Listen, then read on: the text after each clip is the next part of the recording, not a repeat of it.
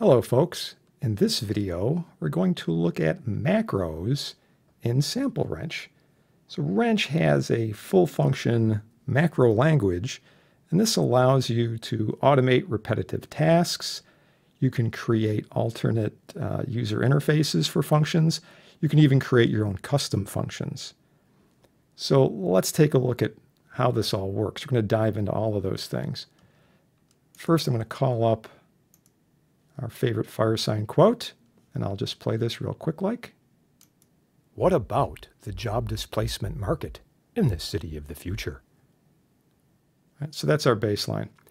Now, suppose there's a series of things we need to do. Right, we, we do it a lot. I'm just going to grab uh, three things sort of at random. Um, but, you know, there, there could be a series of things that you often do in terms of maybe uh, normalizing a sound sample, doing some EQ, certain kind of an effect, uh, whatever it is. But you find yourself doing it multiple times, or you need to do it the same thing on several different samples in a, in a big batch process. So we'll just come up with a few things, right? So what I'm going to do first off is come up to the setup menu and go to macros. And what I want to do in this case is an auto record. This is the easiest thing. You can write your own from scratch, but generally auto record is sort of a nice place to start for, for your basic kinds of, of batch processes. And once you get you know good at this and there's full documentation, there's actually a separate document on the enable language itself, but in the um, regular PDF file, you will find information on the specialized wrench functions, the macro functions. All right, so anyway, we're going to grab auto record over here, and I'm just going to give this a name, a macro. Uh, I don't know, let's call it B macro. I'm just going to stick this on the um, desktop just because it's easy.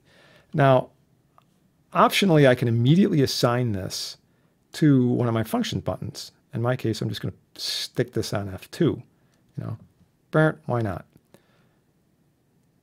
Save that. Now we just go through the series of things we need to do. So in our case, what I'm going to do um, is come up and do some equalization first. I'm going to grab some filters and I'm going to um, look at the telephonize. Right, there's all kinds of things we can do, but I'm I'm going to make this sort of um, uh, sound like it's coming through a telephone. Right, I'm going to alter some of these. I'm going to make this a fifth order filter. Maybe we'll crank up uh, this bottom frequency to maybe, oh, I don't know, uh, let's, let's do 320 hertz. Okay, really chop the bottom end off like your phone would. Just run that. All right, you can see how much energy has been ripped out of here. Now, for fun, let's go and do uh, maybe a pitch shift. You know, sharp, flat, what do you want to do? Um, I don't know. Let's make it. Uh, let's let's be kind of daring here. I'm going to shift this down. Uh, three semitones. Three semitones flat. Alrighty. Now maybe I want to do a normalize, right? Get the peaks up here a little bit. Maybe not 100%, but maybe 90%. You know, that might be pretty good. So um, we'll just go over here and grab normalize. Remember on normalize, this will set what the peak value is going to be, right? 100% is maximized basically and then we go from there. So I'm just going to set this up around 90-ish percent, 89%, close enough. And we get a little bit more gain out of it, all right?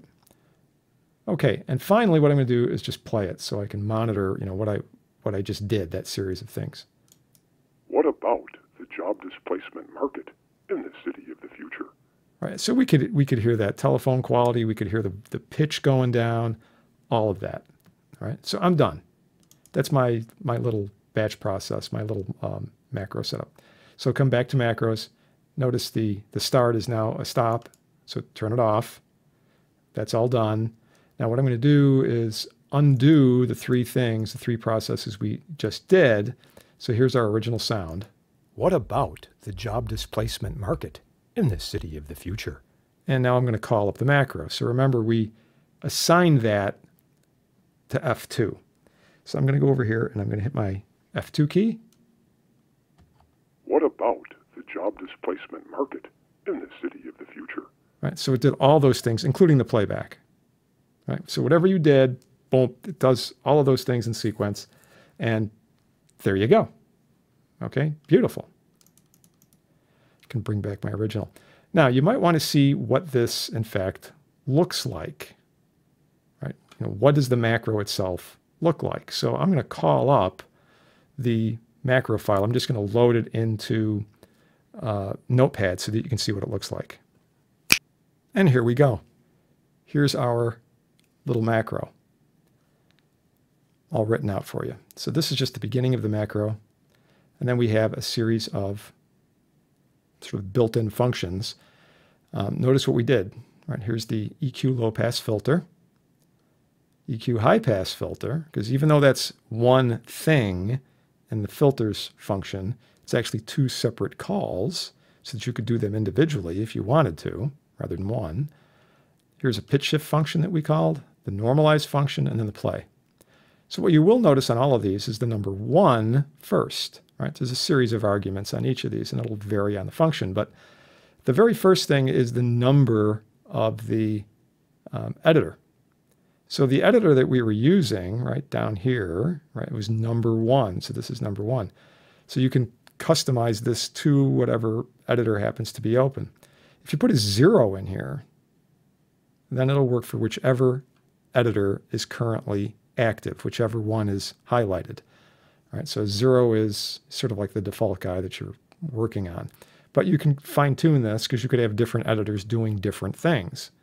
So you can, like I said, have it set up so it doesn't inadvertently do a function on uh, a sound that you don't want operated on. All right, then we have the arguments. So the low pass, you might re recall, was at 3000 hertz and it was a fifth order filter, so 3005. The high pass was 320 hertz and it was also a fifth order filter. The pitch shift was shifting down, negative, 299 cents, right? Three semitones.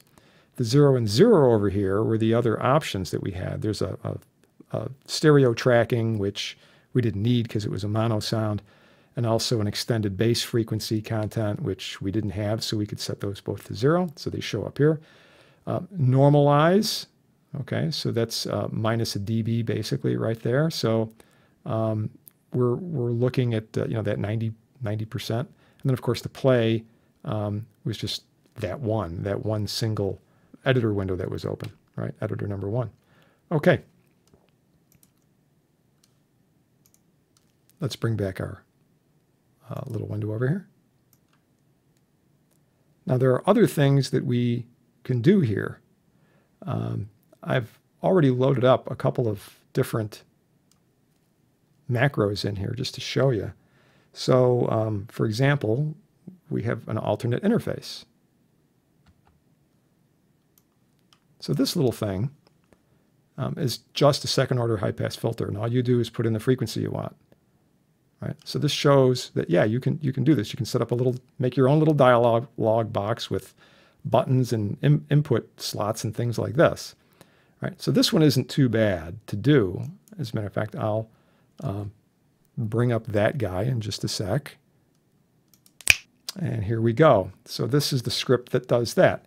This is a little bit different because it has a section over here to actually create the dialog box itself. So, you know, there's appropriate text and input buttons, an OK button, a cancel button, and so on and so forth. Um, there's a, an initial default value over here. That was the 95 hertz that we saw.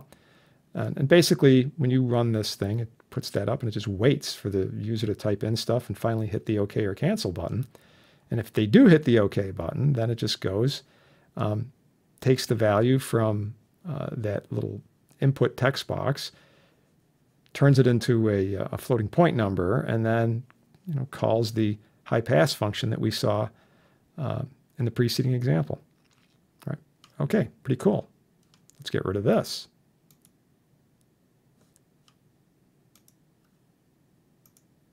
Now, something a little bit more complicated.